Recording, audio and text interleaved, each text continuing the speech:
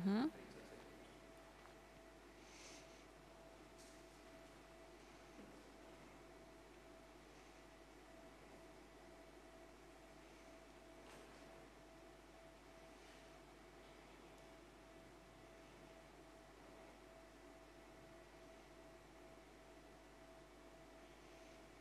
Dobrý večer. Pri sledovaní záverečnej predvolebnej diskusie z Nitrianského kraja, predtým ako sa presunieme do Banskej Bystrice, stále vás pozdravujem z krásnych priestorov synagógy v meste Nitra. No a teraz vám predstavíme kandidátov, ktorí by mali záujem šéfovať tomuto mestu. Ich je dokopy 6 pánov, ktorí by mali záujem sa teda pobiť o post predsedu tohto kraja a predstavíme vám ich teraz v abecednom poradí. Šofér Erik Blaško kandiduje za Národnú koalíciu nezávislí kandidáti. Pekný večer. Dobrý večer. Ehm, môžem sa predstaviť teda? Nemusíte, iba Dobre, sa privítame. moje meno ešte raz, Erik Blaško. Nikdy som nekandidoval, nemal záujem kandidovať za primátora Nitry, ani som nemal ambície Môžete to potom zhodnotiť možno v tej ďalšej Prosím? otázke. Zatiaľ sa len privítame. Marek Hata, súčasný primátor Nitry a zároveň poslanec Národnej rady, kandiduje za svoju stranu regionálnu tým kraj Nitra. Pekný večer. Príjemný pekný večer. Vítam divákov pri televíznych obrazovkách. Právnik, bývalý prednosta Nitrianského aj Trnavského mestského úradu. Igor Kršiak, ktorý kandiduje s podporou stran Hlas SD, Sme rodina, Dobrá voľba, Umiernený, Demokrati Slovenska. Pekný večer. Dobrý pekný večer, prajem. Súčasný mestský poslanec Pavol Obertáš kandiduje ako nezávislý. Dobrý večer. Dobrý večer, prajem.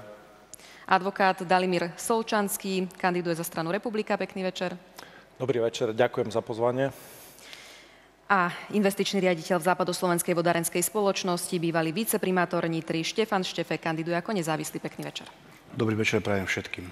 Páni, na úvod v rýchlosti krátke pravidlá sú veľmi jednoduché. Každý z vás má k dispozícii 10 minút čistého času. Môžete si ho sledovať na tejto obrazovke.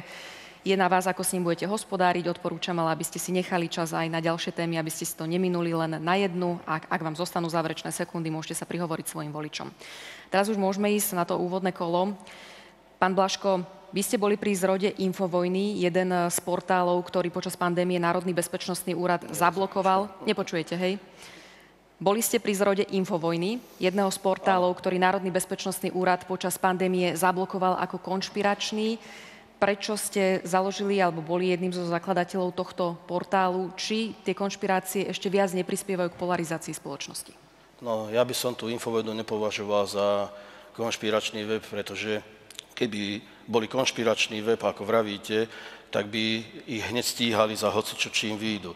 Lenže ako poznám pána Lichtnera, nikdy si nedovolil nič, ničím výjsť von, čím, čo nemal podložené. Takže už by bolo kopec súdnych žalob za na neho, možno by už aj sedel zavretý.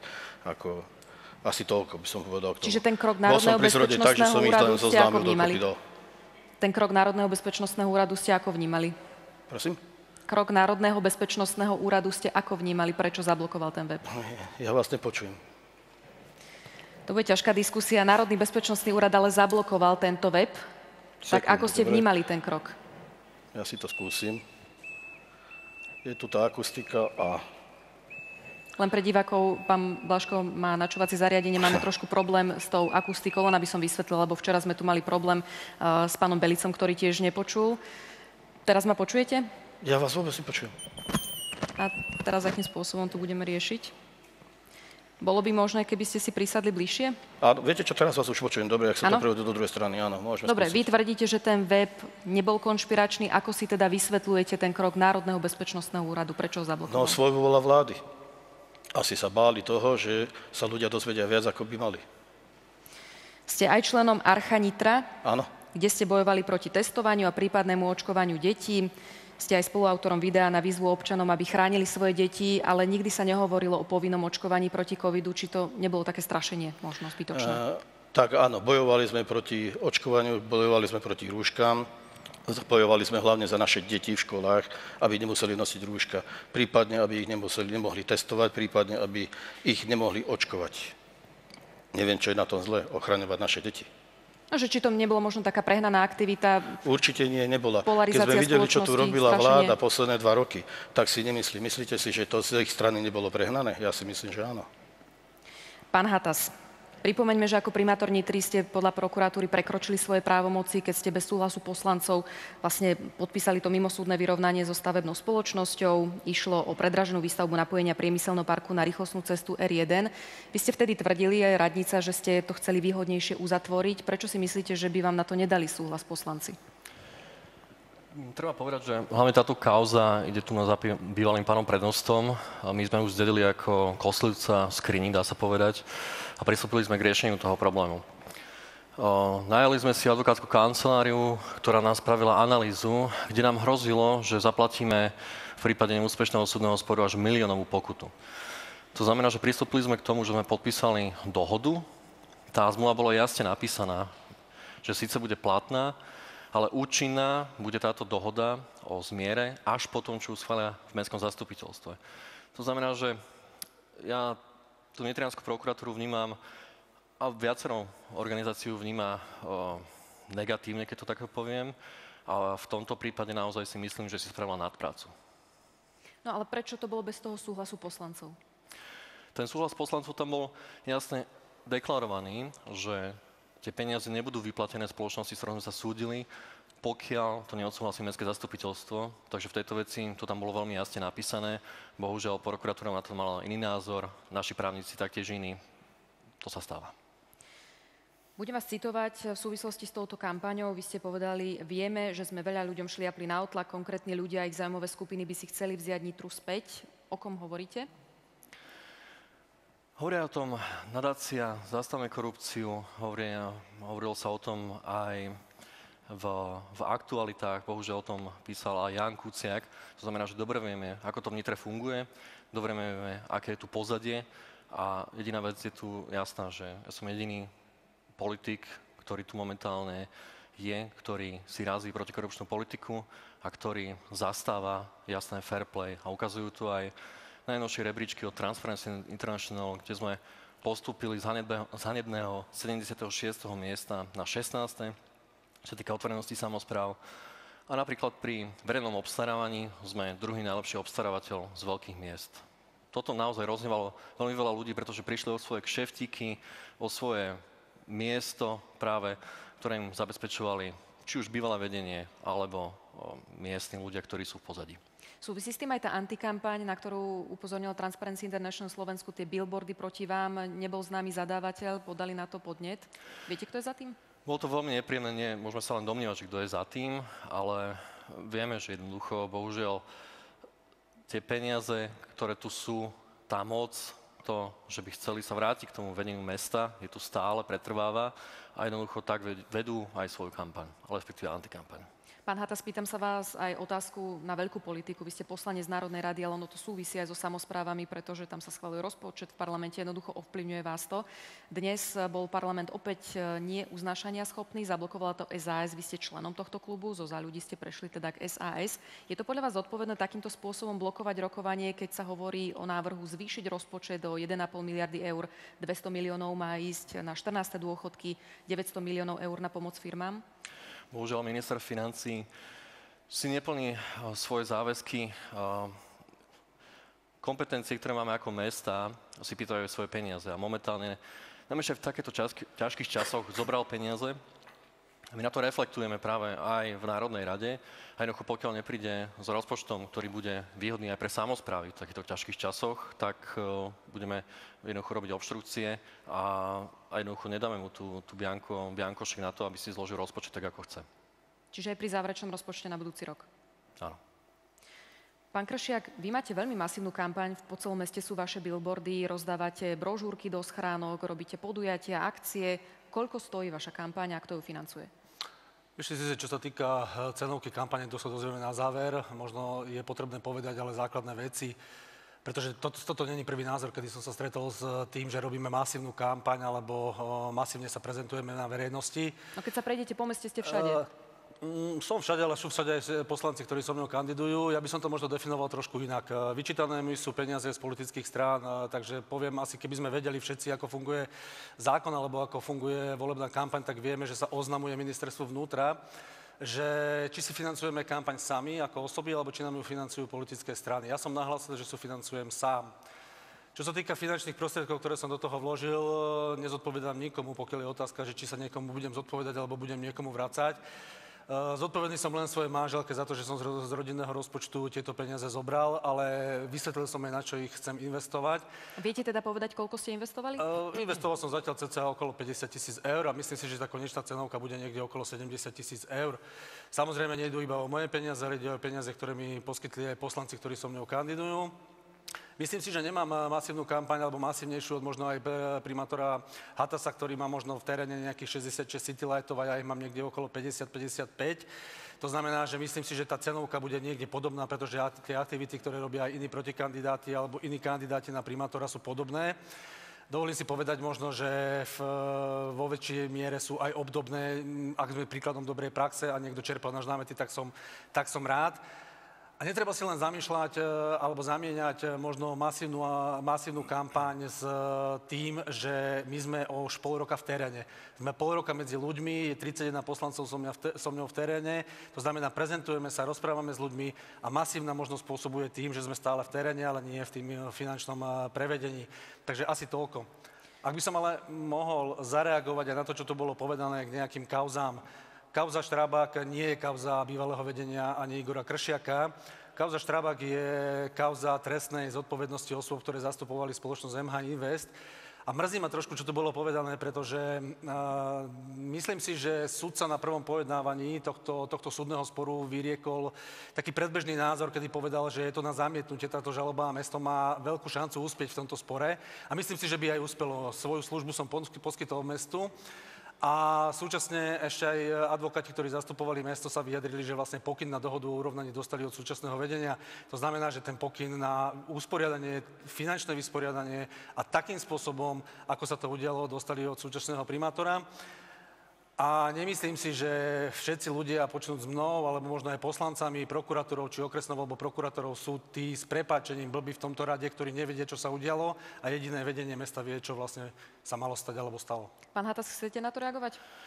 Áno, tak ako som jednoducho povedal, advokátska kancelária si jasne vyjadrila za uzavretie mimosúdnej dohody. To znamená, že ako vedenie mesta sme si sadli s našimi internými právnikmi a prišli sme k tomuto riešeniu. To znamená, že nie je žiadnym pokynom, ale práve že dohodou v rámci vedenia mesta sme k tomu prišli. Pán Kršek, ja sa vrátim ešte k tej kampani, lebo nedá mi to. Na transparentnom účte máte výdavky okolo 27 tisíc eur. Odhadujete, že to bude stať 70 tisíc eur. Nezávislí marketéri od seba povedali, že to môže byť aj niekoľko 100 tisícová eurová kampaň. Bude to naozaj tých 70 tisíc? Pardon, nezávislí marketéri, neviem na základe čoho hodnotili moju kampaň. Uh, pokiaľ si zase zoberieme, ako kampaň prebieha, tak od uh, termínu vyhlásenia volieb v zbierke zákonov je vedený transparentný účet. Ale pokiaľ vieme, tak uh, výdavky do kampane idú aj pol roka pred tým. A myslím si, že nie ja, ale aj všetci kandidáti, ktorí majú napríklad objednané Citylighty, vedia, že pokiaľ si ich bolo treba objednávať v marci alebo možno v apríli, tak ich bolo treba aj v tom období zaplatiť. Takže myslím si, že všetky výdavky všetkých kandidátov budú musieť byť zohľadňované týmto štýlom. Ešte raz hovorím, mám porovnateľnú kampaň aj možno s pánom Hatasom alebo aj s inými kandidátmi. Vy ste povedali, že éra nezávislých kandidátov bola podľa vás pošpinená a vy sami nepatríte medzi tých, ktorí sa budú schovávať za nezávislosť a deň po voľbách si oblečú politické tričko. Znamená to, že po voľbách možno vstúpite do niektorej zo strán, ktoré vás podporujú? Nestúpim. Určite. Nie. Pán Obertáš, Pomerne kritický bol voči vám pán Hátas, ktorý vás kritizoval, že si budujete politickú agendu cez mŕtvoly a že počas pandémie sa dopytujete na nepodstatné veci, konkrétne na radničné noviny, ktoré primátora propagovali pred voľbami, vyčíslenie nákladov na propagáciu príspevkov na Facebooku v predvolebnom období, na služobné cesty a či na ne využíval služobné auto. Pán Hatas konkrétne povedal, poslanec si hovie doma na gaučiku a zahlcuje úrad agendou, ktorá by kľudne počkala na normálny stav. Ako to vnímate? Kto sa nič nepýta, nič sa nedozvie. Začnem asi takto. V prvom rade som bol zvolený ako poslanec na to, aby som kontroloval fungovanie Mestského úradu, kontroloval financovanie či už nejaký aktivít primátora a to aj robím, to som robil aj za bývalého primátora, danú kontrolu, e, pán Kršiak veľmi dobre vie a to isté robím aj teraz ako poslanec, takže snažím sa len to, na čo ma ľudia zvolili, robiť kontrolu, či už drobných vecí, väčších vecí, a teda sú aj zaujímavé zistenia, predpokladám aj za súčasného primátora, kde teda niekoľko pokút sme dostali teda aj vďaka tomu, že teda mali sme podozrenie viacerí ako poslanci a obrátil som sa prípadne na prokuratúru alebo na úrad pre obstarávanie. A dočkali ste sa odpovede? Áno, áno, áno. Čo sa týka úradu pre obstarávania okresnej prokuratúry, odpovedal. Boli tam nejaké zásadné zistenia? Zásadné zistenia boli. E, spomeniem napríklad aj poslednú pokutu, ktorú teda úrad dostal za materskú školu Beethovenová, 5000 eur, e, s tým, že teda ešte prebieha teda nejaké rokovanie s Mestským úradom, ale to sú zistenia počas teda mojej poslaneckej práce a samozrejme aj iné. Pán Solčanský, vy kandidujete za stranu Republika. Ako advokátovi vám neprekáža, že Milan Uhrík má ten pamätný výrok o holokauste, že nie je historik, nevie to posúdiť. Milan Mazurek pre rasistické reči prišiel poslanecký mandát. Neprekáža vám to? Pani redaktorka, tak som čakal otázku. Energetická politika Európskej únie, finančná politika Prídeme samozprávy to, a dostal som otázku ohľadne trestného stíhania Máme Milana Mazureka. kolo, musíte to vysvetliť. No. Musím si teda minúť svoj vzácny čas a vysvetliť túto kauzu. Predstavte si tri osoby A, B a C. Osoba A, poslanec Národnej rady, povedal v roku 2016 nejaké výroky, bol odstíhaný, pravoplatne odsudený. Neviem, kto ho zastupoval, neviem, či využíval opravné prostriedky. Osoba B je súčasná ministerka v istom odbore. Mala na svojom blogu výroky obdobné, ako mala osoba A. Bolo na ňu podané trestné oznámenie, nebolo ani začaté trestné stíhanie. Osoba C, ktorá niekoľkokrát zastávala funkciu predsedu vlády Slovenskej republiky za to, že schválila výrok osoby A, vieme o kom hovoríme, bola dvakrát obvinená z hanobenia rasy, národa a presvedčenia. Prvýkrát obvinená, prokurátor zrušil, druhýkrát obvinená, prokurátor zrušil. Lebo aj schvalovanie trestného činu, vy keď schválite trestný čin, je to naplnenie istej skutkovej podstaty. Moja otázka znie, buď mali byť odstíhaní všetci, alebo nikto. Ale toto je selektívny prístup. Alebo sa vôbec nemuseli dostať do takej situácie. Ale to by bol asi ideálny Všetci stav. alebo nikto. Zákon a právo musí platiť pre všetkých. Neexistuje selektívny prístup. A ja sa pýtam, podľa čoho sa to vyberá? Politická príslušnosť, farba očí, tiché pokyny orgánom. Ani ten holokaust vám neprekáža? Poviem najprv za seba, pretože to je úplne najlepšie. Ja sám som vôbec, ja som v politike nový človek toto je vôbec moja prvá politická nejaká angažovanosť. Niekoľko rokov pôsobím ako podpredseda istého občianského združenia, ktoré sa stará o partizánske hroby, robí nejakú históriu oslobodenia Slovenska, robíme akcie, každý rok chodím klásť vence na Slavín. Asi by to úplne nesúviselo alebo nezapadalo vám do koncepcie, ktorú si niekto vytvorí mediálne o členoch nášho hnutia. Milan Uhrik mal jeden nešťastný výrok o tom holokauste, že sa odmietol k nemu vyjadriť. Nechám ale na vás, pani redaktorka, lebo ja si myslím, že znalosť grečtiny e, na Slovensku nie je až taká vysoká. Nepreložili by ste, prosím vás, tento výraz? Teraz čo máte na mysli? Holokaust. Že nie je historik, nebude sa vyjadrovať Nie, nie, holokaust, či by ste nepreložili. Môžete to vypreložiť, ale neviem, na čo teraz narážate, pretože je to absolútne jasné, keď sa niekto spýta na jednoznačnú tému a niekto sa alibisticky tomu vyhne. Či ste s tým v poriadku? Ja za seba viem sa vyjadriť... Nemusíte to rozvíjať. Nie, nie, prečo? Čakal som, že pravdepodobne príde takáto otázka. Za seba sa viem vyjadriť aj k tomu, že mi je ľúto každej jednej obete nacistických koncentračných táborov. A nie je dôležité, či to bol vojak Červenej armády, holandský odbojár, grécky odbojár, o ktorých sa vie dosť málo, alebo občan vtedajšieho Slovenska, protektorátu Polska. Ďakujem pekne za odpoveď, máte to za sebou. Pán Štefek, vy ste v uplynulých voľbách kandidovali pomerne so širokou podporou aj stran Zmerodina, Dobrá voľba a Umiernený. Kde sa stratila tá podpora a prečo teraz prešli k pánovi Kršiakovi? Pani redaktorka, toto je veľká dezinformácia. Za Nekandidovali ste v uplynulých voľbách sa mi včera ospravedlnil príslušný novinár. Ja som v roku 2018 kandidoval ako nezávislý bez podpory politických strán ale a v týchto podporu. komunálnych voľbách e, kandidujem rovnako ako nezávislý bez podpory politických strán. Ale v tých uplynulých voľbách sa vyjadrila tá podpora.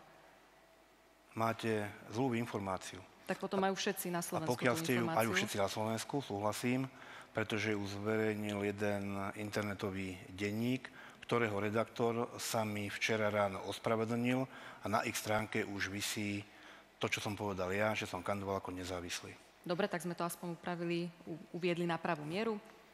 Ale pripomeňme predsa len v tých uplynulých voľbách, vy ste tam mali uh, pomerne takú zložitú situáciu, pretože NAKA vás obvinila z nepriamej korupcie, potom ste boli hneď prepustení, o rok neskôr generálna prokuratúra zrušila to obvinenie, vy ste to vtedy pomenovali ako antikampaň voči vašej osobe. Viete, kto bol za tým? Tak to aj bola. Bola to uh, antikampaň. Samozrejme s tým, že obvinenie bolo zrušené generálnou prokurátorou nie o rok, ale hneď po komunálnych uh, voľbách. A naopak, moje, zruše, moje obvinenie bolo Myslel zrušené. som to ako na ďalší rok. Moje obvinenie bolo zrušené a generálna prokuratúra poukázala e, na to, že trestný poriadok a trestný zákon porušila polícia a prokuratúra. Je taký... Toto je dneska riešené na príslušnom súde, kde som dal podanie o nemajetkovú újmu s tým, že tento proces je aktívny a dneska myslím si, že nie je priestor o tom hovoriť. No hovorí sa, alebo takým verejným tamstvo je, že mohli byť za tým Bedorovci. Myslíte si to? To je to, pravde- takú je to pravdepodobné. Je to pravdepodobné. Pani, ďakujem. Poďme na prvú tému a to je rozpočet. Pán Hatas, vy ste súčasný primátor. Mestský úrad stále nepozná návrh vášho rozpočtu, ani na oktobrovom zastupiteľstve ste nepredložili ten návrh.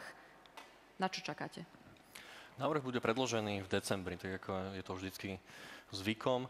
Teraz mali by pre, predstavené tzv. limitky, ale dneska sme mali práve stretnutie v rámci Unie Slovenska, kde v podstate všetci primátori hovorili, že v súčasnej situácii, kedy nevieme, ako budú zastrpované ceny, nevieme, ako dopadnú niektoré legislatívne procesy ešte, je veľmi ťažké skladať rozpočet, nakoľko vám naozaj na príjmovej a výdavkovej stránke lietajú doslova milióny.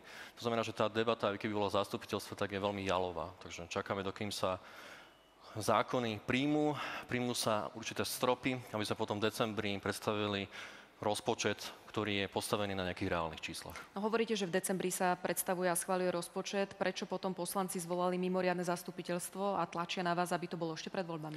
Oni chceli byť tzv. limitky, to znamená, že limity pre jednotlivé odbory, ako budeme mať nastavené, kde nastavujeme v podstate príjmovú časť a limity pre veci, ktoré sú z zákona dané. To im aj predstavím na zastupiteľstve, ktoré sa bude konať v budúcu stredu. To znamená, že tam tie limitky dostanú, ale hovorím, je veľmi ťažké momentálne dávať dokopy rozpočet aj kvôli tej ťažkej situácii a v podstate je to tak na celom Slovensku. A nie je to o tom, že mesto jednoducho je v zlej finančnej situácii, hovorí sa o sume 6 miliónov, ktoré chýbajú, je to pravda?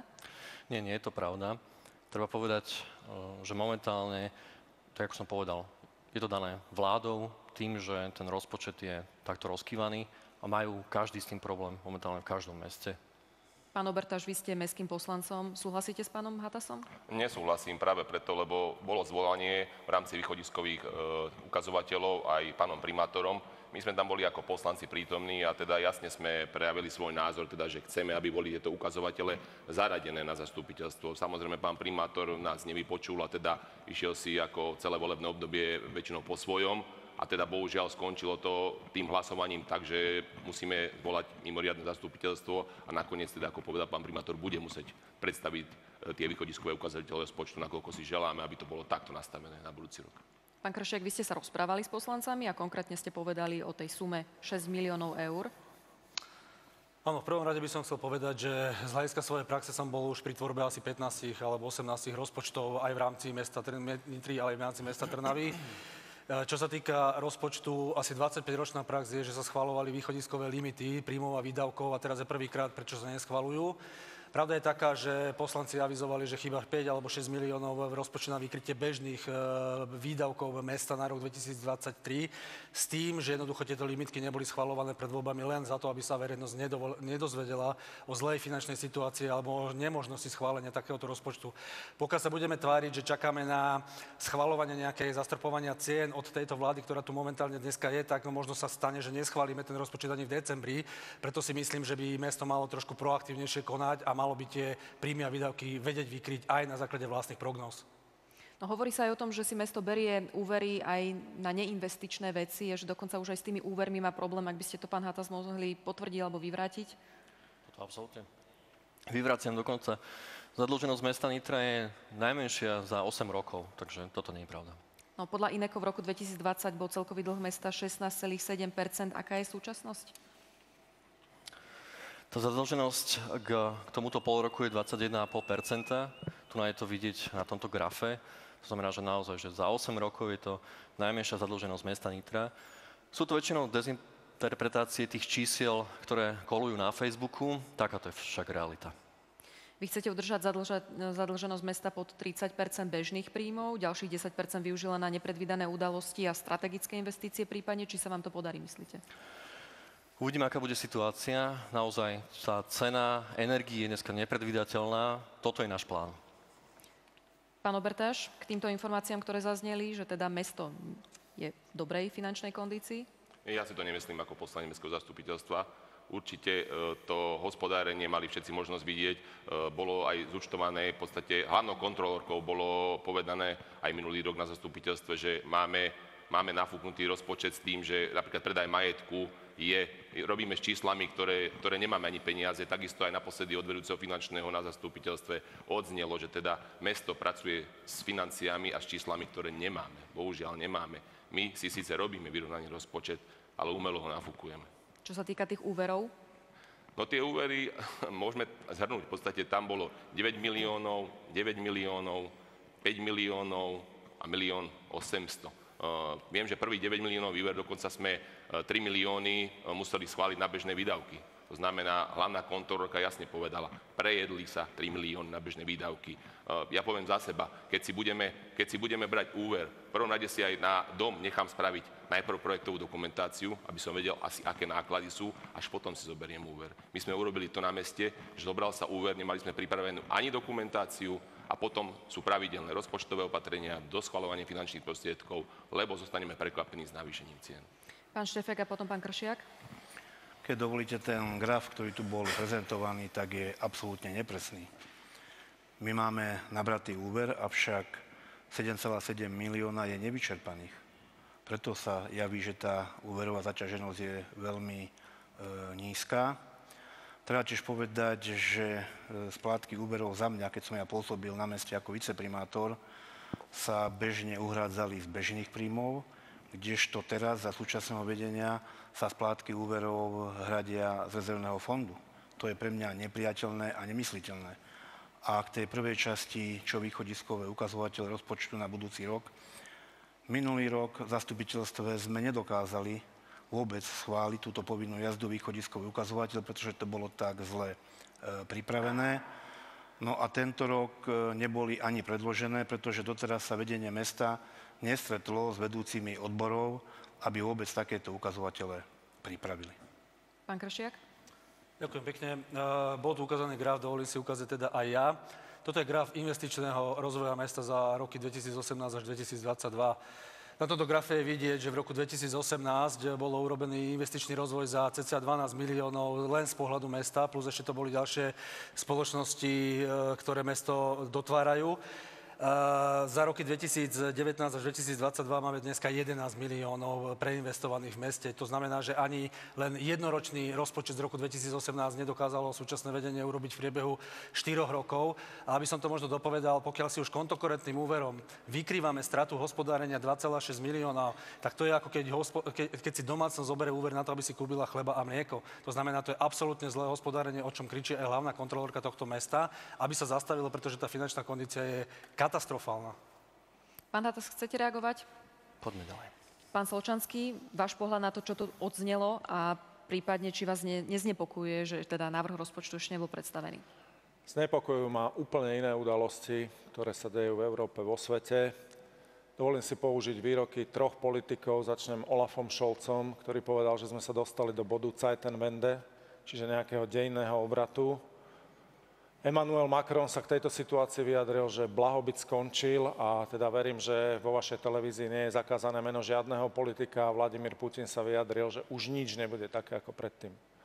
Prečo to beriem z tohto globálneho hľadiska? Lebo to určite dopadne aj na náš štát a dopadne to na komunálnu sféru. Teraz na obranu možno trošku všetkých, čo tu sedíme. Ktokoľvek sa stane primátorom, bude to mať veľmi ťažké. Energetická situácia a energetická kríza je tu odhad nárastu tých cien energii oproti minulosti je 24 miliard, čo je šialené číslo. Nie je to čím vykryť. Takže bude to ťažké. Zostávanie rozpočtu fajn. Osobne si myslím, že bude rozpočtové provizorium ako na celoštátnej úrovni, tak aj v mnohých samozprávach. Nevylučujem, že aj tejto. Vyjadriť by som sa chcel ale k jednej veci povedanej súčasným primátorom, ktorý teda sa snažil eh, prezentovať, že ako Nitra je na tom dobre v niektorých rebríčkoch. Ja som opatrný človek, ako advokát si zmluvu čítam vždy do konca, aj malými písmenkami. Tak som si prečítal aj teda ten rebríček Transparency International, ktorý končí nejakou právnou výhradou. A ešte tam má ďalšiu právnu výhradu, v ktorej sa píše, naše, eh, je to teda, nazýva sa to metodologické upozornenie, že tie údaje nemusia byť úplne spolahlivé, že sa tým nemeria úroveň služieb ani efektívnosť hospodárenia, že tam nie je vzťah medzi otvorenosťou a korupciou a že nevylučujú, že údaje sú aj zverejnené také, ktoré oni nenašli a že teda tým pádom ten rebríček nemusí byť spolahlivý. Nechápem, ako môže byť Nitra na druhom mieste medzi verejnými obstarávateľmi, keď dostala niekoľko pokút od úradu pre verejného obstarávania. Tá najvyššia bola 235 tisíc eur a ja nevylučujem, že ďalšie prídu. Pán Blaško, vaše vyjadrenie k rozpočtu, alebo pán Hatas ešte môžete zareagovať? Ja len zareagujem, že prečo sme tak postupili v tých miestach, pretože tu bolo v našom meste úplne zvykom pracovať na tri obálky, dohadzovať všetky svojim priateľom. Samozrejme, že všetko bolo lega artis, to znamená, že aj preto je to veľké poskočenie, pretože sme zaviedli štandardy na našom úrade. Či už je to projektové riadenie, či už je to manažment kvality, ktorý tu chýbal. A naozaj mesto bolo riadené člendriarství. Pán Blaško, čo sa týka rozpočtu, či ste pripravení aj na možno hroziace provizórium na celoslovenskej strane máme šikovných ľudí, ktorí sú pripravení pomôcť. Ja by som sa k tomu vyjadril asi tak, že počuli sme tu viaceré názory, že je kondícia, dobrá kondícia, zlá, hento, tamto. Ja by som navrhoval potom, keď sa tam niekto dostane, urobiť hĺbkový audit. Nech vidíme presne, ako na tom Nitra je. Potom by sa rozhodlo, čo je priorita, do čoho investovať, do čoho nie. Čo sa týka tých energií, je tu jeden článok 36 v Európskej únii, tento článok hovorí, že pokiaľ je kríza v danom štáte energetická, ktorá teraz plňa tieto, no, tieto veci, tak môže Slovensko zastaviť vývoz elektriky a predať len to, čo je navyše. A teraz by to ľudia vážne pomohli. Pomohlo by to vážne ľuďom. Ďalšia vec je, že peniaze, ktoré by sme videli v Nitre, že boli ušetrené, sa dajú investovať. Keďže sa sem rúti toto, čo sa na nás rúti, všetci to vidíme, bolo by dobre urobiť pre ľudí potravinové banky, zabezpečiť ich všetko, pripraviť ľudí, psychologické poradne, lekárske poradne, aby sa vedeli, kde obrátiť. A v tejto téme budeme pokračovať. Energetická kríza a pomoc občanom. Mestské zastupiteľstvo zatiaľ v súvislosti s rastúcimi cenami energií vyčlenilo sumu približne 769 tisíc eur z rozpočtu práve na kompenzáciu zvýšených výdavkov pre domácnosti. Bol to návrh poslancov Dovičoviča a Greša. Vychádza to jednorazovo na platbu 10 eur pre obyvateľa. Mnohí poslanci boli proti tomu, pretože ročne to vychádza na nejakých 83 centov. Pán Kršiak, možno otázka na vás, pretože títo páni sú tom vašom zoskupení správna partia, či to nebol naozaj populistický návrh a mrhanie peňazí? Neviem sa za nich vyjadriť ako za poslancov, treba sa opýtať ich. Tak a teraz som sa vás pýtala, že čo si myslíte ja o tomto návrhu. Ja sa radšej vyjadrím potom k tým energetickým veciam. No teraz sa na to pýtam. To teraz schválilo Mestské zastupiteľstvo uh, nie teraz, ale nedávno. Či dobre. to je z jedným riešením? Dobre, aby sme odbočili trošku od toho bulváru k tomu uh, takému nejakému slušnému spravodajstvu. Ale ten bulvár prebieha mňa, na Mestskom zastupiteľstve podľa za mňa, vás? Za mňa poviem energeticky, keď to porovnám napríklad so svojím pôsobením v Trnave, od momentu, kedy začala energetická kríza, máme dneska fotovoltaické elektrárne na každej materskej a základnej škole. Vieme si vrátiť do rozpočtu milióny eur a vykryť asi 40-percentnú úsporu pre tieto, tieto zariadenia. Začali sme auditovať verejné osvetlenie, osvetlenie vo všetkých školách, kde je ďalšia x percentná úspora tohto. To znamená, že dneska čakať na zastropovanie cen len zo strany štátu je vlastne také alibistické sedenie, pokiaľ sa samozpráva nerozhýbe a nezačne niečo robiť. To znamená, že za mňa dneska treba klopať na dvere, kde poplatok napríklad od vodárov sa môže vrátiť e, do investícií mesta, kde napríklad e, riešiť e, úsporu v PHM mestskej autobusovej doprave, aby sme nepreplácali tie narasty cien, napríklad úpravou grafikónu a tak ďalej. Čiže toto sú pre mňa základné témy, ktoré treba riešiť v rámci energetiky alebo toho, čo hrozí mestu na budúci rok. A to sa týka samozrejme aj občanov. Pán Obertaš, vy ako mestský poslanec, možno aj k tiež tomu opatreniu, ktoré teda bolo nazvané ako bulvárne, plus ďalšie riešenia? No, každopádne treba povedať, že máme akciovú spoločnosť Teplárenská, ktorá nám nevyplatila dividendy za tento rok. To znamená, že tam je nejaký problém s hospodárením a s kontrolou. Čo sa týka toho šetrenia, teda naviažem aj na pána Kršiaka, e, máme mesto vypracovanú nízkouhlíkovú stratégiu, kde máme jasne popísané teda konkrétne veci, konkrétne opatrenia na to šetrenie tých energií, takže treba postupne pristúpiť tomu, hľadať zdroje, hľadať rôzne fondy, ale teda máme jasne stanovené v dokumente, ako má mesto postupovať pri úspore, a už sa len toho držať. A čo sa týka toho, pani redaktorka, teda toho schvalovania, e, vždy schvaluje nadpoločná väčšina poslancov. Takže schválila, je na vedení mesta, aby našlo v rozpočete peniaze. E, úmysel bol možno dobrý, pomôcť ľuďom a takisto pripomeniem jedno. E, bolo upresnené s tým, že definovať sociálne skupiny, definovať, ktorým ľuďom bude tento príspevok. To znamená, že vy ste si sa povedali, že to vychádza zanedbateľná suma. Ale my sme sa s poslancami nakoniec aj tak bavili, že konkrétne skupiny ľudí vyčleniť, ktorí fakt budú potrebovať tento príspevok. Pán Hatas, ďalšie riešenie, ako pomôcť ľuďom v čase energetickej krízy, šetrenie, Veľmi jednoducho. Naše mestské budovy jednoducho nie sú všetky zateplené. Zdedili sme ich totiž to nie, nezateplené. Takže postupujeme v tom zateplovaní. Aj teraz sa nám dokončila základná škola Cabajská. Máme ďalšie materské školy, máme v pláne, máme tu projektové dokumentácie, takže v prvom rade zatepliť. To znamená, že zefektívniť energetickú, energetické zhodnotenie respektíve našich budov. Potom tu máme fotovoltaiku, respektíve solárne, solárne kolektory a môžeme ísť ďalej.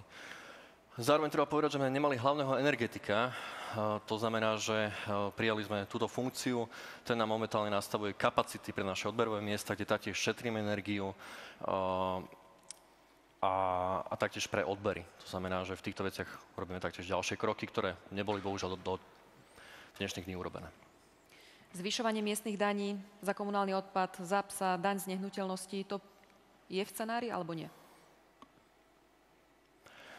Čo sa týka navyšovania cien, toto bude presne otázka v decembri, keď presne budeme vedieť, akým spôsobom sa bude hospodariť s komunálnym odpadom, eh, kde taktiež eh, sa musíme prispôsobiť zákonu. Treba povedať, že dlhé roky, alebo respektíve pred rokom 2018, sa porušoval zákon, kde nás stal viacej komunálny odpad, ako sa vyzbierali obyvateľia. To znamená, že my sme pristúpili aj k takým tým nepopulistickým riešeniam toho, aby sme jednoducho neporušovali zákon a to, čo nás stojí komunálny odpad, aby jednoducho bolo vyzbierané aj od obyvateľov. Takže budeme pristúpať k tomu, ako sa situácia vyvinie. Pán Blaško, vy ste sa už vyjadrovali, ale zvyšovanie poplatkov pre občanov áno, nie? No určite by som to nezvyšoval. Teraz, čo sa na nás valí, ako som to spomínal pred chvíľou, v žiadnom prípade to nerobiť. My musíme pomôcť ľuďom teraz v prvom rade, nie ich mať ešte viac na podlahu, ako to proste nejde. My musíme nájsť cestu, pomôcť. Začal som organizovať tieto garážové výpredaje. Tam ľudia sa tešia, môžu si pomôcť. Niekto to trošku zosabotoval, neviem prečo, museli sme preniesť druhé, vymeniť druhé miesto, aby sme to mali robiť ďalej. Ale hovorím, ľudia potrebujú istotu, potrebujú jesť, potrebujú pomoc.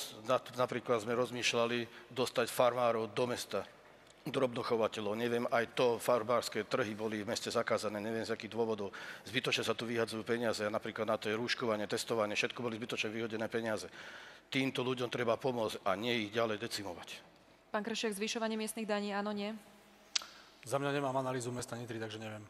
Takže tiež asi si počkáte až Určite, na ten návrh decembrový. Pán Obertáš? Nie som zastancov zvyšovania daní.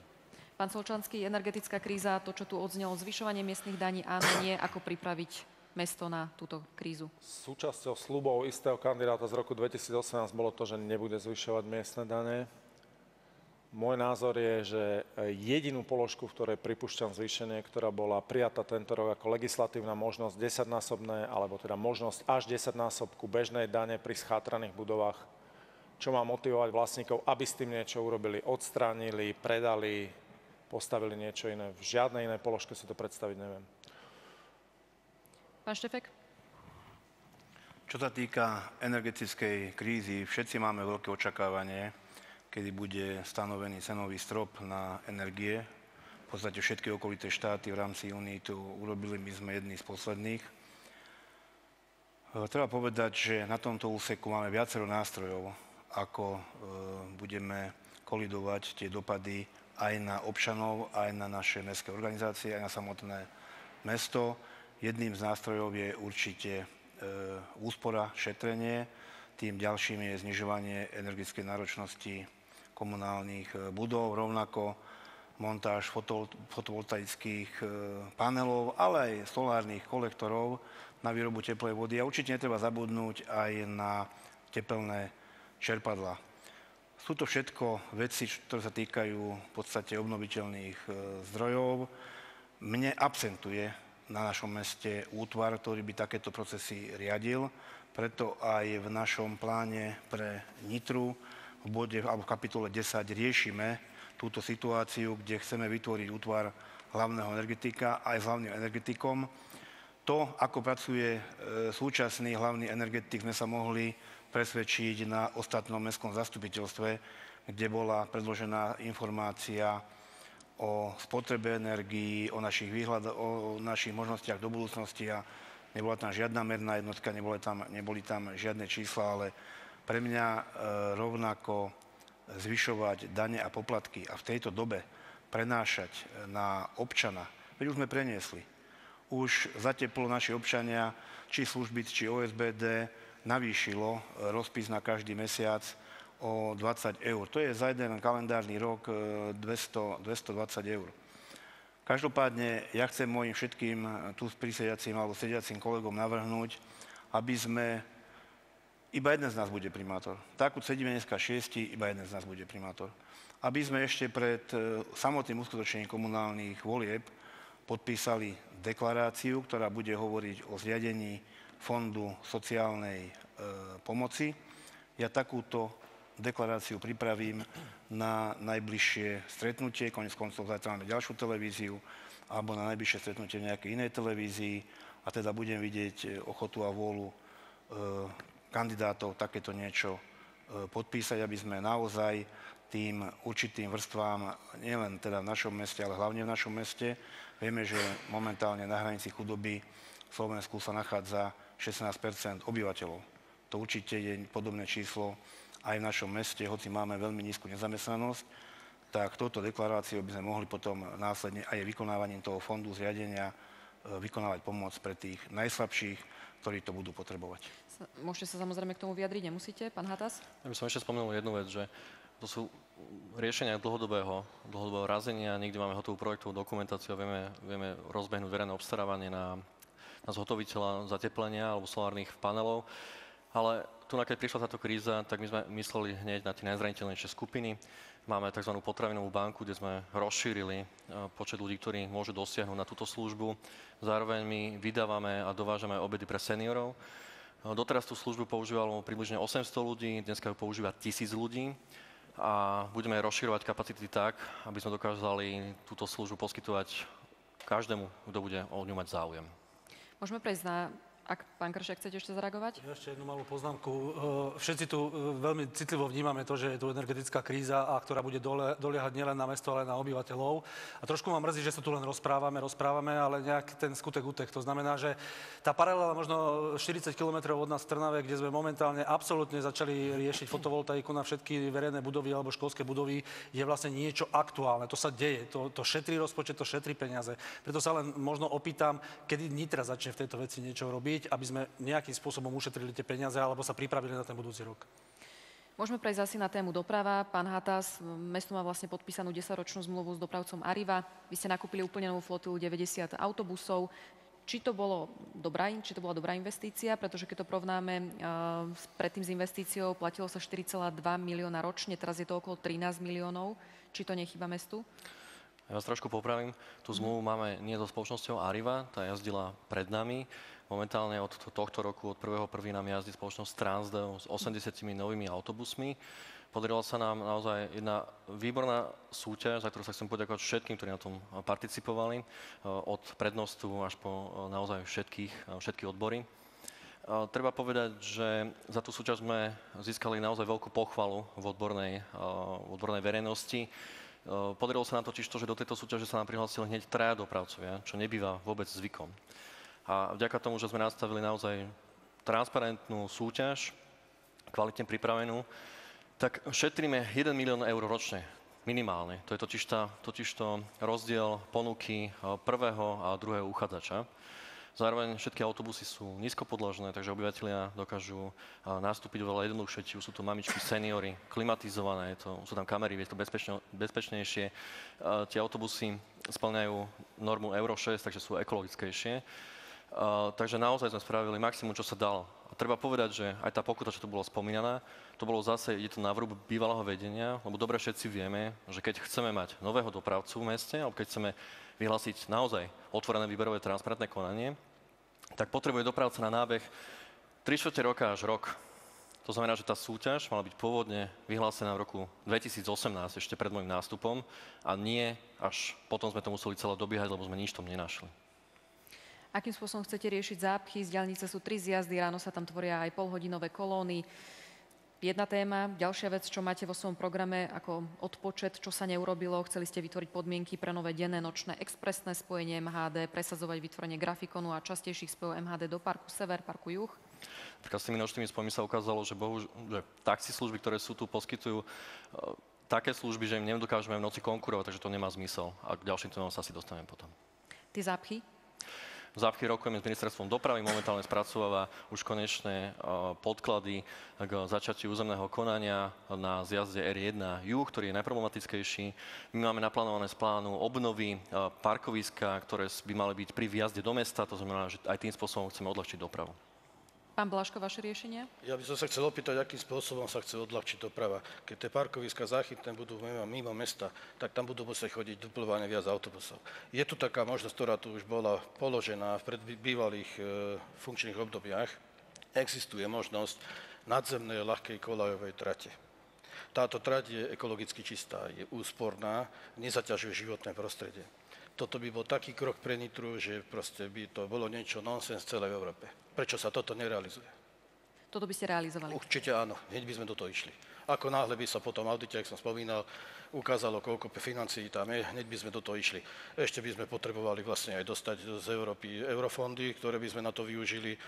Prečo nie? Prečo sa neposunúť? Prečo neprekročiť tieň v Nitre? Keď to má pomôcť. Pán Kršiak? Ja sa vrátim trošku tej verejnej doprave. Trošku ma zarazilo, že pokutu, ktorú sme dostali, dostali sme za nás, keďže bola podpísaná zmluva z roku 2019, kedy už na úrade som nebol. Ale ďakujem, že teda pokuta je na môj vrúb.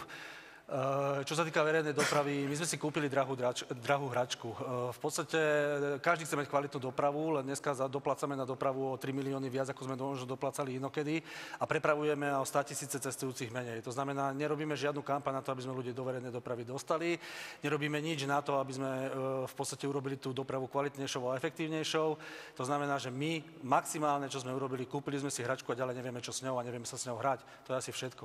Riešenie zápch Riešením ZAP je samozrejme odklon dopravy, to znamená riešenie základných úzlov, ako je napríklad začať konečne vybudovať malý južný obchod a to klopať na politické dvere aj štátu, ktorý nám musí s tým pomôcť, riešiť odklon dopravy od križovatky na Zobore, riešiť križovatku na Klimaku, riešiť rozptyl dopravy a hlavne, keď dojde akýkoľvek developer do mesta s novou, s novou zástavbou, musíme začať budovať aj novú infraštruktúru, pretože my sa všade nápájame len na súčasnú infraštruktúru, ale podmienky developeri na novú zástavbu nedostávajú. To znamená, toto sú základné veci, ako tú dopravu riešiť. Pán Obertáš? Zopakujem. Kryžovatka Cabajská, kryžovatka pod Zoborom, kryžovatka pri Klímaku. To sú do nekonečna omilené témy volebné. Konečne už niekto by ich mal začať riešiť. Ja ich chcem riešiť. Nestačí len vykrikovať na župana, že teda nerieši roky nič. V prvom rade treba iniciovať stretnutie, sadnúť si stolu a bez nejakej kritiky hľadať riešenia pri tých našich obyvateľov. Lebo toto sú dlhodobo zanedbávané, zanedbávané problémy. Ďalej tá samotná autobusová doprava. E, treba zriadiť inteligentný systém svetelnej signalizácie a tým pádom bude umožnené aj rýchlejší presun tých autobusov. To je to, čo sa tu bavíme, že teda tí ľudia budú vnímať, že ten autobus rýchlejšie prejde tým pruhom. E, nezriadovať možno zbytočné buspruhy, ktoré nemajú zmysel, spomeniem na Klokočine a ďalej napríklad zriadiť e, druhé ľavé odbočenie pri Mlínoch na Štúrovej ulici, ktoré jasne ukladá aj projektové dokumentácii pri Tabáni. Takže to sú veci, ktoré sú uskutočniteľné, len treba na to nabrať odvahu a začať ich konečne riešiť, prestať slúbovať. Spomínali ste križovatku Cabajska, tá patrí pod župu, ale? Tam, e, pri všetkých spomínaných križovatkách sú viacerí správcovia e, ciest. To znamená, treba si so všetkými správcami sadnúť a nie že sadnúť, ale hľadať konečne riešenia. Pán Solčanský, Vrátim sa k tomu, čo povedali moji predrečníci. Nejde o rýchly a jednoduchý problém, respektíve jeho riešenie nemôže byť rýchle a jednoduché. Nedá mi nepovedať, že v 2018 som čítal čierne na bielom slub, vybudujeme záchytné parkoviska, sme o 4 roky ďalej a počúvam ten istý slub, vybudujeme záchytné parkoviska, dúfam, že sa to o 4 roky nezopakuje. Jediná cesta, ktorú ja vidím, je nájsť motiváciu, aby ľudia presadli z individuálnych prostriedkov dopravy do tej verejnej dopravy, aby, tak, aby vôbec chceli ňou jazdiť. Ako ich chcete motivovať? To je vynikajúca otázka. Sú projekty v Európe, ktoré hovoria o bezplatnej doprave alebo skutočnej doprave za minimálnu cenu. Žiaľ, toto nie je rozpočtovo v tejto chvíli pokryté. Verím ale, že ten trend sa bude uberať týmto smerom. Pán Nie je iná cesta. Ak môžem, doplním mm. ešte tú spoluprácu s developermi. Skutočne každý, mám pocit, nitrianský developer, samozrejme existuje aj slušný, nemôžem povedať, ale ich primárny záujem je obsadiť posledný zelený fliačik v meste, postaviť, rozpredať a nestarať sa o statickú a dynamickú dopravu. Toto veľmi radi nechajú na pleciach mesta. Pán Štefek, verejná doprava, zápchy, riešenia? Najprv sa vyjadrím buspruhom.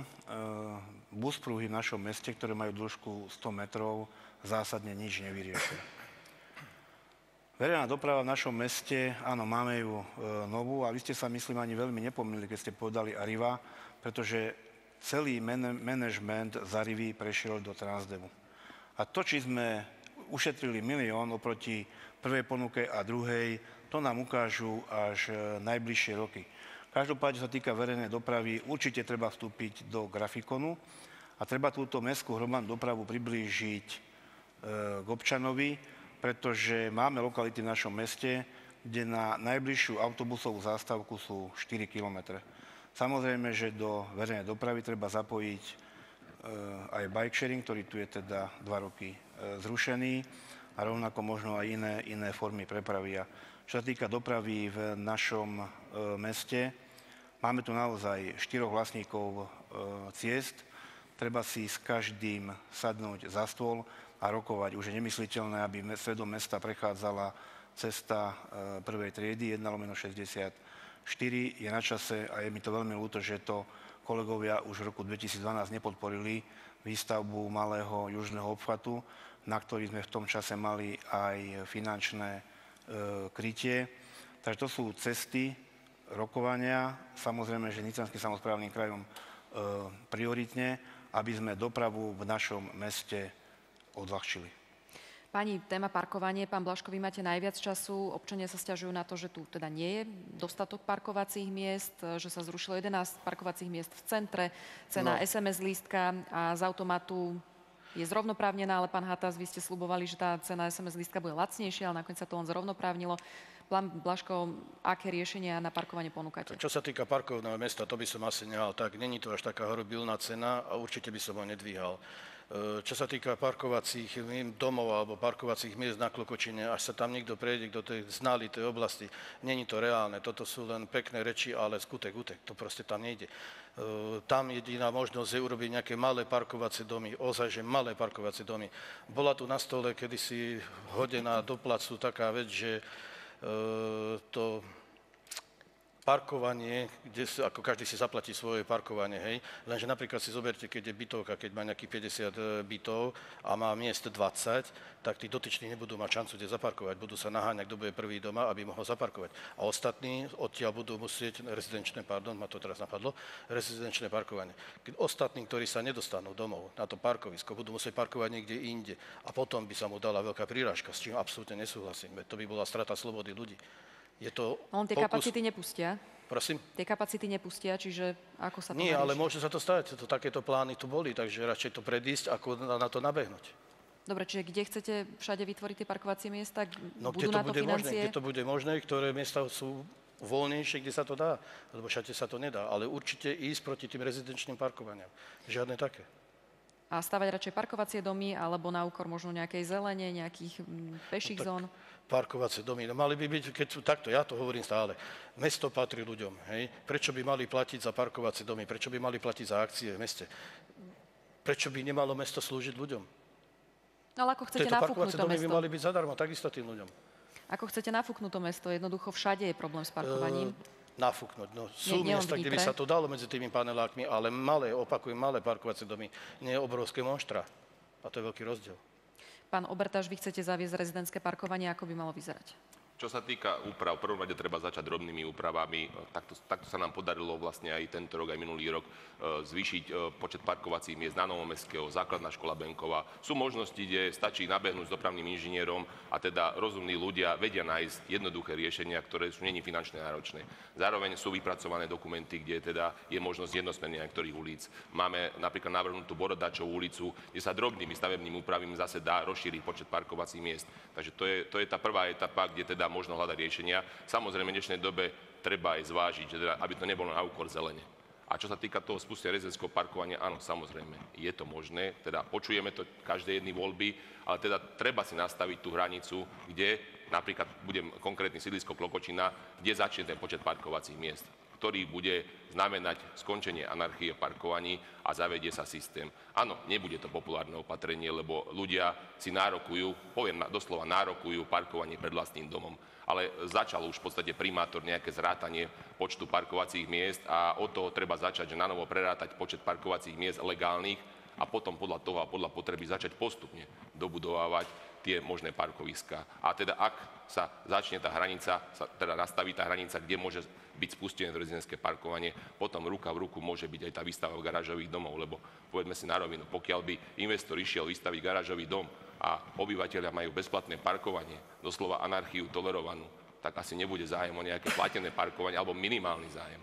Tak si povedzme, že treba fakt nastaviť systém, ktorý bude znamenať poriadok aj keď ľudia možno budú znechutení, že teda po, tých, po tých rokoch bezproblémového parkovania, síce niektorí v noci museli krúžiť, nastane doba, že bude, bude poriadok, budú vyhradené miesta a bohužiaľ tie dve, tri auta na domácnosť buď sa budú musieť presunúť do nejakých záchytných parkovíc okrajových štvrtí, ale teda pokiaľ sa nenastaví tento systém a výstava nových parkovíc môže byť samozrejme financovaná aj z Fondu Mobility, ktorý má mesto zriadený a teda mal by byť e, príjem z parkovania, prípadne zo zavedených parkovacích preukazov toto sú prie, e, priestory a finančné možnosti, kde teda mesto môže začať aj tie a to rezidentské parkovanie, vy ste to spomenuli, malo ktorá rodina má jedno auto, čiže aj na viacero aut by ste vydávali karty? No každopádne, v prvom rade si povedzme, nemôžeme začať systémom auto nabyt. To sa nedá.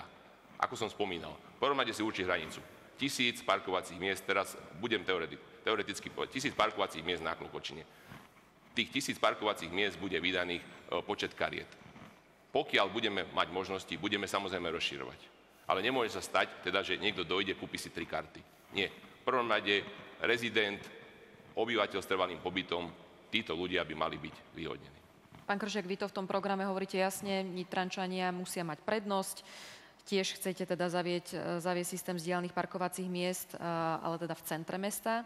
A máte aj taký návrh, to šetrím a za tri, že jednoducho na jedno parkovacie miesto by mohlo parkovať viacej ešpezetiek, tak ak by ste to mohli rozvinúť.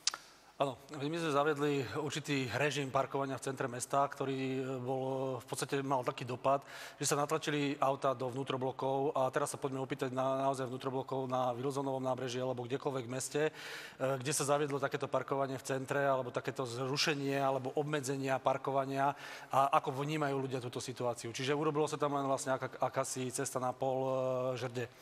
Čo sa týka rezidenčného parkovania, alebo respektíve niečo toho zdieľaného, tak áno, pokiaľ znížime počet parkovacích aut, ktoré sa dostanú do centra a budú môcť parkovať na jednom mieste tri ešpz tak samozrejme budeme aj tvoriť určitú obratkovosť tých vozidiel v centre. Eh, čo sa týka eh, sídlisk, treba automaticky a hneď zaviesť rezidenčný parkovací systém. A dovolím si povedať, že možno sú to z tých prítomných pánov mám jediný príklad dobrej praxe, kde sme v Trnave zaviedli toto rezidenčné parkovací systém na sídliskách. Dneska to ľudia vyhodnotili ako pozitívny efekt, pretože tí rezidenti naozaj majú blízko k svojmu parkovaniu. Nerezidentov sme odnaučili chodiť do mesta svojimi autami, ale využívať eh, prostriedky verejnej hromadnej dopravy. To znamená, áno, z tohto pohľadu treba okamžite zaviesť rezidenčný parkovací systém na sídliskách. Pán Hatas, nejaké kroky k tomto budete podnikať, respektíve či parkovanie je pre vás priorita, lebo vy ste aj ten parklet, ehm, tú zónu pre obyvateľov na miesto parkovania zaviedli, tam sa môže sedieť, ale zase stal, tam, stal sa tam ten incident s tou opitou vodičkou, lebo je to vlastne len tými kvetináčmi chránené. Tak či skôr parkovanie, alebo skôr tieto pešie zóny a zóny na sedenie? Pokračujeme v rezidenčnom parkovaní, tak ako sme ho začali v roku 2020. Koniec krúženiu okolo prevádzok. Budeme ho rozširovať do celého mesta. Ďakujem. A ten incident, čo sa stal? Nejaké väčšie zabezpečenie? Musíme si šetriť časa. Pán Solčanský? Nedávno som zverejnil na svojom Facebooku príspevok o mestskej policii, ako zakladali papuču. Je veľmi zlé, že verejnosť Nitrianska vníma mestskú policiu, ktorých prácu si mimochodom veľmi vážim, ako zakladačov papuče. Toto je vlastne ich primárna práca. Podľa mňa nie je. Mestskú policiu chceme vidieť inde, na nejakých horúcich miestach Nitry s kolegom Jánom Rejdom, ktorý kandiduje za naše hnutie do Mestského zastupiteľstva, sme pripravili koncepciu mestskej parkovacej politiky, bude zverejnená tento týždeň. A je založená na princípe asistentov parkovania a založenia mestskej parkovacej služby. Skutočne tá mestská policia, a teda musím sa vyjadriť, že ten môj príspevok mal veľmi, veľmi negatívne komentáre k príslušníkom mestskej policie, niektoré až nepublikovateľné, ale skutočne toto nie je ich práca, je to práca pre niekoho iného. Oni majú byť inde. A cestou možno nejaké výstavby ďalších parkovacích domov, na úkor peších zón?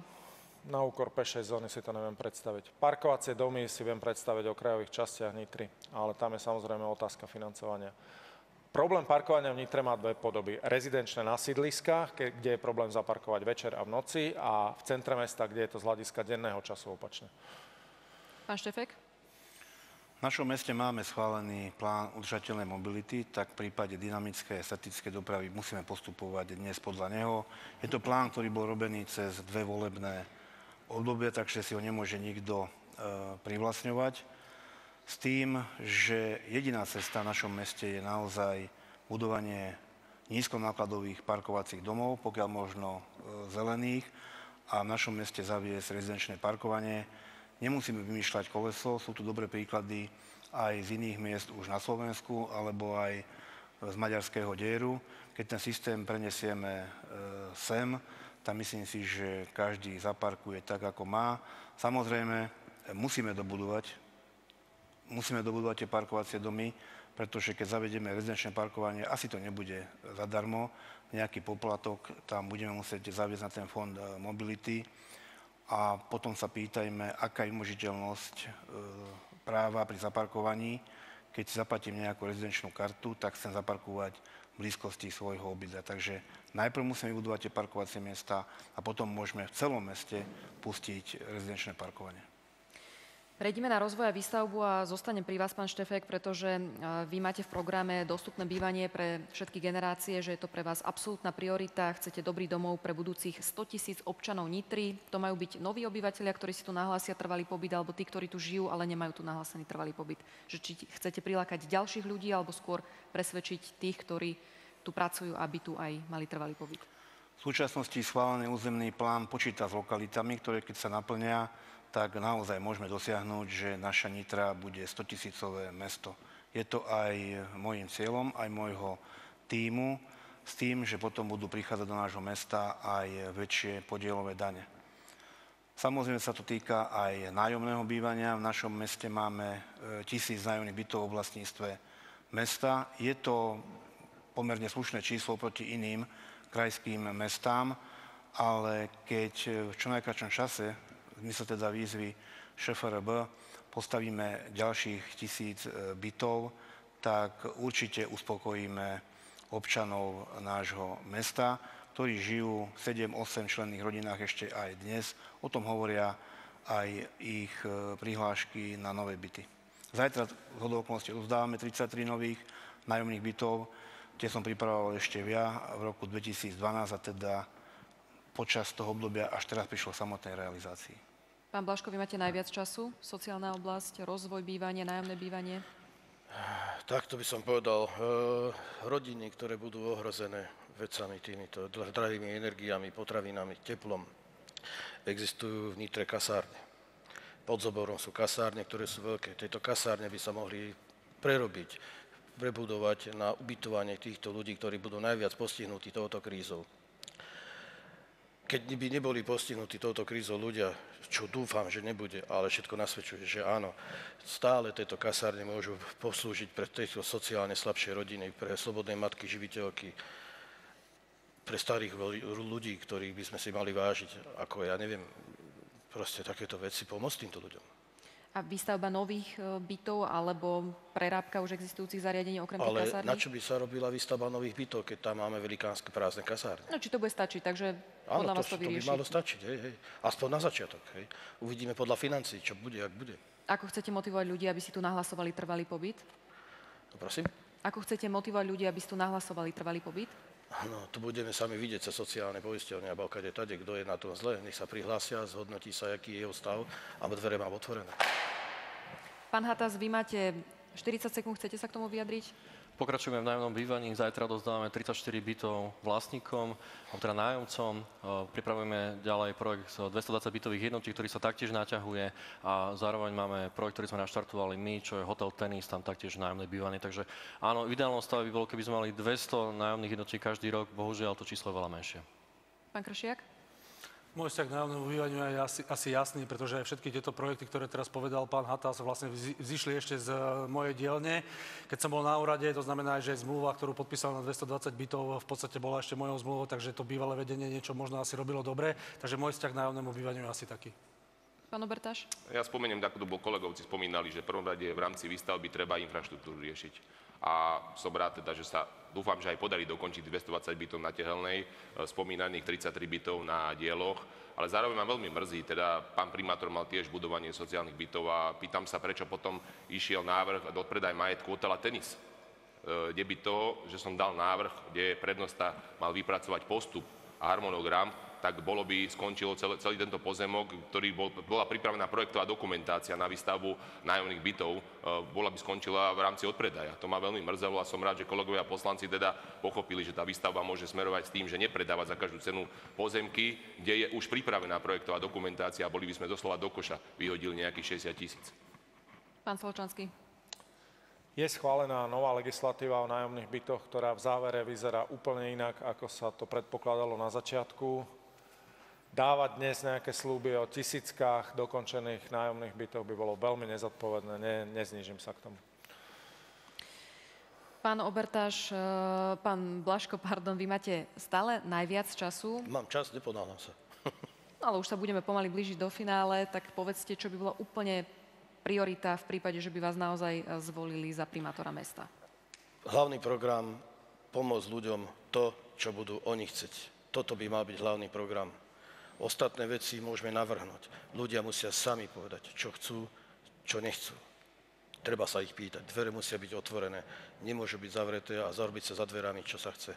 Takže musia. vy zatiaľ nemáte program a počkáte si cez Ale nejakú... máme program, anky... samozrejme, tak máme plány. čo by bolo čo to sme prvé, čo by ste urobili. Áno, čo sme hovorili ohľadne tejto dopravy, podpora malých farmárov, pestovateľov, aby sa dostali do mesta, pretože im to bolo znemožnené, aby proste sa naštartoval trh v meste, aby mohli dýchať ľudia. To je také, taká priorita. Po, po, treba spolu tlačiť s ostatnými primátormi, ostatnými starostami na vládu, aby použili ten článok 36, ktorý som spomínal. E, napríklad vám poviem, viete, koľko, za koľko sa predávala na Rybskej burde minulý týždeň elektrika? Za jedno euro. Kde sú tie peniaze? Toto treba tlačiť na vládu a toto bude priorita. Stále máte najviac času, tak sa spýtam aj na škôlky, umiestňovanie detí do predškolských zariadení, čo sa týka kapacít, či by sa ano. to nejako riešili? Toto by sa malo riešiť určite. Toto by sa malo vystavať nové škôlky, aby sa malé deti mali kde umiestňovať. Úplne vystavať alebo robiť nejaké Aj vystavať. Buď nejaké staršie objekty, keby sa dali zrenovovať, ktoré by boli v dispozícii, alebo vystavať nové školy. To je, to Ktoré je objekty samozrejme. napríklad? Prosím? Ktoré objekty napríklad? Ja neviem. Aj domino v podstate dalo by sa využiť na škôlku. Na čo? Prečo nie? Pán Solčanský, priorita a možno aj tie škôlky? Priorita je tepelná energetika a zabezpečenie tepla pre verejné budovy, školy a domácnosti v meste. Následovné dve zimy. Pred dvomi rokmi sa predával podiel Nitrianskej teplárenskej. Mesto vtedy podľa mňa ne, úplne zodpovedne nevyužilo tú príležitosť ho kúpiť. My sme pripravení získať tento zvyšný podiel a mať úplne 100% podiel Nitrianskej teplárenskej spoločnosti. Dividenda je menej podstatná, áno. Ešte okrem toho, samozrejme, hospodársky výsledok klesá, ročne to bolo okolo 600-700 tisíc eur, čo je ale podstatné, keď bude mesto Nitra 100% vlastníkom, bude môcť úplne ovplyvňovať chod Nitrianskej teplárenskej a dobudovať nový vysokoučinný kombinovaný zdroj tepla a elektriny. Pán Obertáš, možno ešte pán Solčanský, pardon, k tým škôlkam. K škôlkam bol by som rád, keby naozaj každé dieťa mesta Nitry sa dostalo do škôlky bez problémov a nemuselo obchádzať, hľadať kontakty, kde mi dieťa zoberú, kde nie. Budem veľmi rád, keď sa toto podarí naplniť. Ako k tomu viete prispieť? Musia sa stavať nové škôlky, nie je podľa mňa iná cesta. Uh-huh. Pán Obertáš? Čo sa týka môjho pôsobenia, prvom rade chcem povedať, že tu by mal byť človek, primátor, ktorý bude sedieť na jednej stoličke. Riadiť mesto, venovať sa problémom obyvateľov v meste Nitra, nie na dvoch stoličkách, pretože nedá sa robiť poriadne robota na jednom mieste, na druhom mieste. E, čo sa týka môjho pôsobenia, určite začať e, riešiť projekty, ktoré majú dopad na energetiku, to znamená, ako sme tu spomínali, rade znižovanie nákladov. Ďalšia vec by som spomenul, teda dopravu konečne začať riešiť mimo tých slubov, už spustiť pre ľudí aj matateľné výsledky a škôlky naviažem. My tu máme budovy, napríklad bývalé jasle na Lomnické, e, takisto materská škola Párovská, kde sú možnosti a priestory, aby sme teda vedeli rozšíriť v prípade dopytu tieto školské priestory pre obyvateľov, pre deti obyvateľov mesta samozrejme. Pán Blaško, stále najviac času, tak ešte jedna otázka. Boli sme svedkami obrovských, e, obrovského sucha. Počas leta mnohí obyvateľia boli obmedzovaní, čo sa týka zalievania záhrady, e, umývania vlastných aut a podobne, akým spôsobom by ste možno chceli tomu predchádzať, alebo nejaké zadržiavanie vody a podobne? Tak určite bolo by dobre aspoň e, zavlažovanie povoliť, nech sa tá voda dostane von, vybudovať nejaké kanály, vybudovať nejaké rybníky, kde by tá voda ostala stáť. To už dávno je na svete, takáto vec funguje. Ale môj názor je na celé takéto, až narážame na globálne oteplovanie alebo niečo, neverím tomu. Planeta má svoje cykly, to všetci vedia. Nehovorím o globálnom oteplovaní, ale o tej situácii, ktorá nastala. Museli sme už žiť, či už veríme globálnemu oteplovaniu alebo nie. Jako? Ja to nehovorím nejako tendenčne, ako ste to pochopili, že globálne oteplovanie, či tomu veríte Aha. alebo nie, ale tej reálnej situácii, ktorú proste sme žili na Slovensku. Tak určite, zavlažovať by sme mali to jednoznačne. Ale jak som povedal, tejto rybníky vykopať proste, aby sa voda držala, aby toto bolo. Dobre páni, záverečný čas je určený vašim voličom. Nech sa páči, pán Štefek. Milí Nitrania, mám veľmi silný vzťah k nášmu mestu a chcem, aby sme ako všetci občania nášho mesta vytvorili jeden silný tím, ktorý sa bude podielať na plnení tohto plánu pre Nitru, aby sme našu Nitru opäť vrátili medzi najkrajšie mesta na svete. Ďakujem. Pán Solčanský. Vážené dámy a páni, ďakujem, že ste ma vypočuli. Viem, že svojim príspevkom som išiel proti zásadám a príručkám politického marketingu, ktoré hovoria sľubovať, sľubovať, sľubovať. Neviem to urobiť, zastávam realistický prístup, bol by som veľmi rád dokonca, keby existoval právny inštitút vymáhania predvolebných slubov od kandidátov. Neviem vám slúbiť lánovku na zobor s lyžiarským vlekom. Neviem vám slúbiť nový akvapark na Svetoplukovom námestí alebo metro na Klokočinu. Čo vám viem slúbiť, je zabezpečenie tepla túto a ďalšiu zimu do verejných budov, škôl a domácností v Nitre a boj za práva vašich detí, pretože sú to ich práva, aby ich už nikto, tak ako dva roky dozadu, nenechal doma na pleciach rodičov bez možnosti reálneho vzdelávania. Ďakujem pekne. Pán Obertáš. Vážení Nitrania, takže v prvom rade chcem, aby bol konečne úrad otvorený ľuďom. Budem sa snažiť, aby to tak bolo, aby boli vypočuté vaše problémy a otázky typu, prečo nemám okolo seba žiadny tým, žiadnu skupinu poslancov.